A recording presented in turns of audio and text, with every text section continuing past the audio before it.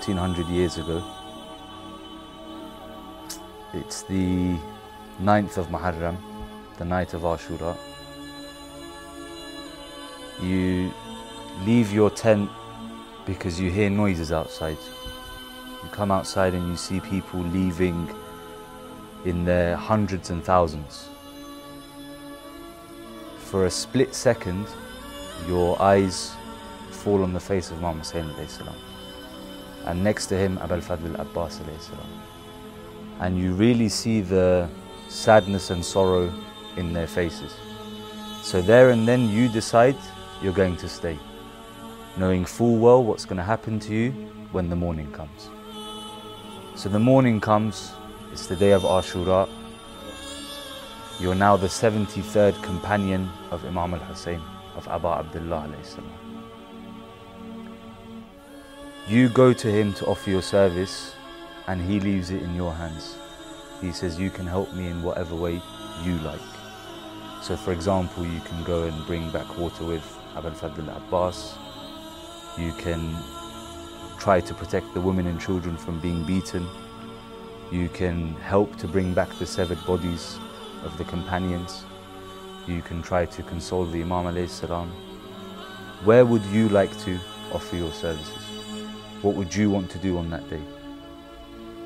Well, uh, first of all, I think it's a very interesting question actually. And um, ironically, throughout Muharram, throughout the lectures, um, these kind of questions actually come through my head. I don't know if I'm the only person, but I'm sure um, a lot of followers of Ahlul Bayt have a similar kind of thoughts that go through their head. What will I do and how will I do, right? Will I choose the right path or the wrong path? And one thing always has resonated with me, one of the Imams. Imam Zain al-Abidin alayhi salam, right? I feel like because of his illness, because of his weakness, he couldn't defend the woman. Um, I believe we're all men, right? We are able to fight for ourselves. We don't need any support. We can help, we can have support, but it's not a necessarily um, thing to survive. But especially for a woman, she wasn't created for this. Her body is not designed for the torture, right? And the wives um, and the sisters and the family of Abu Abdullah have been gone through, gone through, right? So if I had a choice to ever be in service back in the days of Imam uh, Hussein alayhi salam, I would definitely have um, supported the wives and the sisters um, of the Ahlul Bayt. Um, and the reason for that is because I think it is for a man to protect. Um, a man is created to provide, to protect a family, a woman, right? Um, so I think is that is that okay? Is that with you? It's, it's completely Yeah. up to you. So it's um, it's something that's always has hurt me when I feel and and it has always like ashamed me that it had to come to a certain extent where say Zainab had to reply to Yazid, right? Um, because there's no one else to support her. There's not a single man. They're all killed and martyred, right? So, from my perspective, from the way I was growing up and everything, I have four sisters, uh, three sisters actually, sorry. And I've always cared about women. I've always understood the value of a woman uh, in a family, in society. And there are some certain things that it's out of control of a woman. I know we're moving into an independent stage where women are becoming very independent and they're working and but there are some aspects about a woman that can never be changed. You know? And uh, I think a man should always be there to provide and to protect a woman. So that's where, where my position would have been. So now imagine one day you come home from work, you open your house door, you see your family are all frantically running around the house. You mentioned you have three sisters. One of your sisters is preparing fruit, another one food, another one tea, and your mom, your dad are all gathering stuff as if you have a guest at your house. So you come up to one of them and you say, What's going on? Why is everyone so ecstatic, so excited? And one of them replies, Someone's come to see you. So you say, Who? And they say, Well, he's waiting for you in the living room.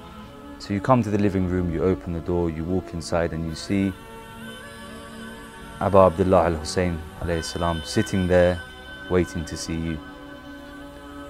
Now, in that moment, what would you like to say to him? What would you like him to say to you?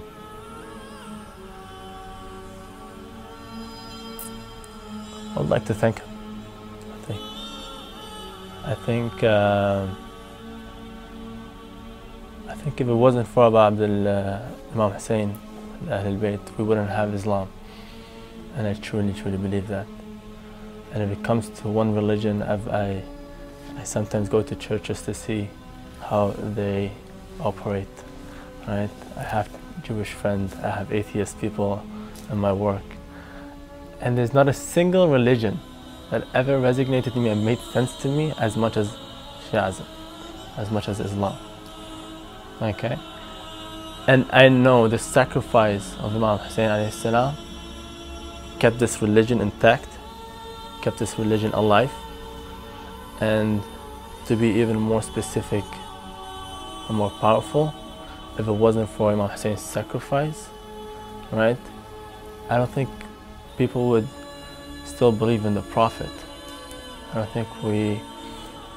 I believe the story of Karbala connects us to Islam in, in a way because you have to remember that we're 1,400 years further down the line.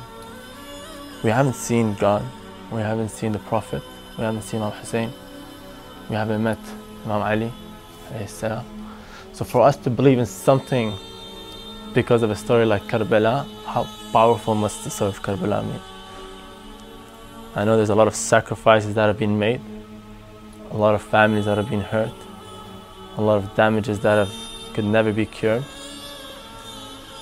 But the vision that Imam Hussein had to keep this religion of his grandfather alive had to be accomplished through his sacrifice. So in the instant where I'm standing in front of Imam Hussein, I definitely want to thank him that we have such a thing like Islam, where you're allowed to do this, you're not allowed to do that. We have a structure in our life. Even when I feel lost in my professional life, I look back towards Islam and I know, listen, I'm on the right path. This is just temporary. I have, I have bigger dreams. I have bigger aspirations in life, right? So what, I, what would I like to, for him to tell me? That's a tough one. I'm not gonna lie. I uh, reassurance. Reassurance would be a good thing to get from a man like Imam Hussein Like, you know, you've had faith in us, we'll be there for you. Although you weren't there with us, Arba'in, Muharram, we'll be here 1,400 years later, right? And we know because you've had faith, you've kept our principles alive, you've shared our story with other people, we'll be there for you one day. I think that's a blessing. I think that's that's a ticket, you know. And what else could you ask for? What else could you ask for, right? So, at the start, I asked you about 1400 years ago. Obviously, knowing what you know about Ashura, knowing what you know about the events that took place, albeit just maybe 1% of the actual things that happened. A lot of people often forget that we have an Imam amongst us in this day and age. And it might be easy to say, if I was there, I would do this, and I would do that, and I would help this, and I would stop that. But we have an Imam today who's, in his absence, basically given us the choice in how we decide to serve him, in how we want to aid him on his mission. So, how do you think you've helped the 12th Imam, may Allah fasten his reappearance in your lifetime?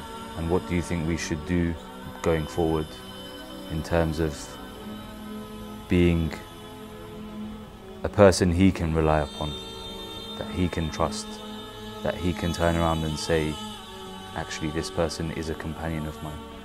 Or, like you said, come and say, you know what, you've been good to me, Yeah. I've got your back. I um, I believe justice is the answer to that question. I believe there is a reason why Karbala, the story of Karbala existed. There's a reason why Imam Ali went through hardship. There's a reason why Imam Hassan went through hardship. It's all because of justice, right? And we have justice here today. And we see this every single day on a big scale and on a very low scale. And I might ask myself, right, can I one day affect the big scale justice? Maybe I can, maybe I can't. But on a daily life routine of mine, if I see justice in front of me, I'll oppose it. If I see a guy cheating, um, stealing, I'll oppose it. Whether that endangers my life, I'll take the risk. And subhanallah, not, not too long ago, I've had a I've had a, I have a junk guy steal one of a kid bike. And now this is a very simple story, right? While I was having my lunch. Now justice could be done on different kind of levels. But this is a very this is a kid's life, a kid, right? A bike is his everything, right? It's a big thing for him. The kid starts crying. Alright? And without hesitance, without a thought of me, what shall I do? I just stood up, took the other kid's bike, and chased the thief. Right? Now I left my stuff there. I had my wallet on the on the table. I had my phone, my, my laptop, but it didn't matter to me because well, justice needs to be accomplished here, right? So I went and not to make this long too uh, not to make this story too long. I went to get the bike, and the guy started attacking me. But of course, called the police on him. Took the bike, went back to the restaurant. The kid was still there. Had a couple of guys trying to reassure him, right? But the moment he saw me with the bike, that smile on his face, I'll never forget. Now I'm not saying this is any comparison. Like I can compare this to what happened 1,400 years ago. But because of my values and ethics, didn't allow me to just say, "Well, tough luck, kid. It's a hard, hard world, right? It's a tough world." No, I'll just do my part in this, and inshallah, maybe one day I'll get blessed, or I'll get the opportunity, right, to to overcome justice, to overcome these kind of things that are happening in our world on a much larger scale. But these things are out of my control. أين بقية الله؟ أين بقية الله؟ أين بقية الله؟ ألا كراز خدایی خدا کند که بیایی خدا کند تو نور نوایی خدا کند